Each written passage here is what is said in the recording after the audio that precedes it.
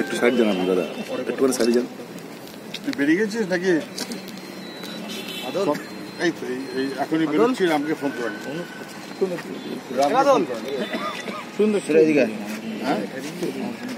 চল রোলিং এই যে ধস্তাধস্তির শিকার হলেন আক্রান্ত হলেন গ্রেপ্তার করা হলো কীভাবে রসে বসে আছে সরকার।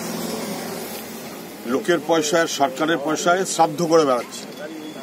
টাকা পয়সা খোলামকুচির মতন ব্যবহার করছে। কার পয়সায় আহারে বাংলা হচ্ছে? কার উদ্যোগে আহারে বাংলা হচ্ছে? যে রাজ্যে অনাহারে মানুষ মরে সবার মানুষ মারা গেছেন মুখ্যমন্ত্রী তাকে অস্বীকার করতে পারে ওরা মদ খেয়ে মরে গেছে। যদিও সেই মুখ্যমন্ত্রী গ্রামে গ্রামে মদের ব্যবসা শুরু করতে চাইছে সেই মুখ্যমন্ত্রী গ্রামে গ্রামে মদের ব্যবসা শুরু করতে চাইছে সেটা তো আমরা মানতে পারি না, পশ্চিমবাংলার মানুষ মানতে পারে না। সবরদের মৃত্যুর প্রতিবাদে এবং পশ্চিমবাংলায় স্টারভেশন ডেথ যেভাবে হচ্ছে, গ্রামের মানুষ যেরকম বিপদে আছে, সেই রকম সময়ে আহারে বাংলার মতন কর্মসূচি করা, এটা অসভ্যতা অসভ্যতা এই জিনিস মেনে নেওয়া যায় না। আপনাকে থানায় কি বলল? কিছুই বলল।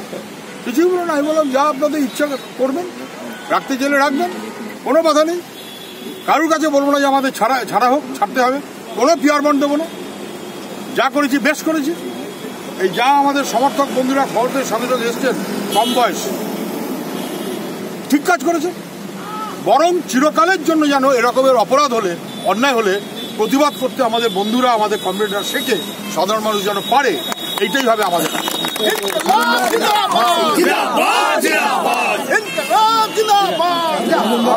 বিষয়ে আপনার থেকে একটু রিয়াকশন নেওয়ার ছিল সেটা হচ্ছে শোভন চট্টোপাধ্যায়। মন্ত্রিত্ব থেকে তিনি ইস্তফা দিয়েছেন সেই ইস্তফা গ্রহণ করা হয়েছে আগামীকাল তাকে মেয়র পদ থেকেও ইস্তফা দিতে বলা হয়েছে। কি বলবেন? যদু বংশ ধ্বংস হওয়ার লক্ষণ এগুলো। যদু বংশ ধ্বংস হওয়ার লক্ষণ। মুখ্যমন্ত্রীকে উত্তর দিতে হবে তার সবচেয়ে পেয়ারের কানন। তাকে কেন পদত্যাগ করতে হচ্ছে অথবা তার পদত্যাগ গ্রহণ করার জন্য অপেক্ষা করে বসে থাকতে হচ্ছে? যদু বংশ ধ্বংস হবে, কাকে রাখবেন? রামকে রাখবেন না শ্যামকে রাখবেন? এই প্রত্যেকে তোলাবাজ, তোলাবাজদের মধ্যে লড়াই। সেই লড়াইয়ে কেউ এগোচ্ছে, কেউ পিছোচ্ছে। আজকে শোভন গেছে, কাল বাদে পরশু কে যাবেন? তালিকা যেন উনি করে রাখেন। কি বলবেন? যে উনি কি কাজ যথাযথ করছিলেন না মনে করেন মুখ্যমন্ত্রী বলবে কেন? মুখ্যমন্ত্রীর দায় মানুষের কাছে এটা জানানো, যার উপরে ভরসা রেখে তিনি মন্ত্রী করলেন, তাকে কেন মন্ত্রিসভা থেকে সরাতে হচ্ছে তো মুখ্যমন্ত্রীর দায়। তিনি তো বলবেন। তিনি তো বলবেন। এমনটা হতে পারে তোলাবাজির যে অংশ দেবার কথা ছিল যার, সেই অংশটা পাননি। পঁচাত্তর ভাগ দিতে হবে। পঁচিশ ভাগ জাপানিস কর, পঁচাত্তর ভাগ দিতে হবে। পঁচাত্তর ভাগ হয়তো দেয়নি। ভাগে কম পড়েছে?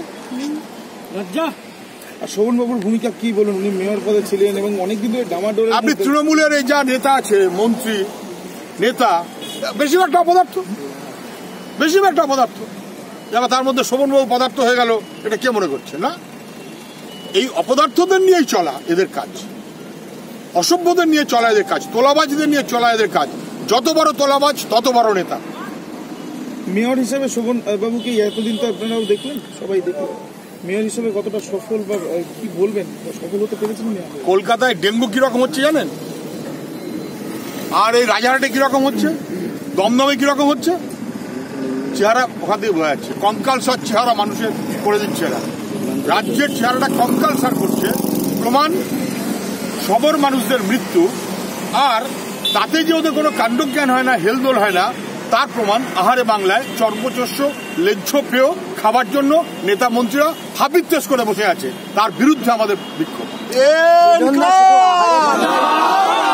যেটা রাইটার্স সামনে আপনার ব্যাক করেও বলো একটা অনুষ্ঠান খাওয়া দাওয়ার আয়োজন।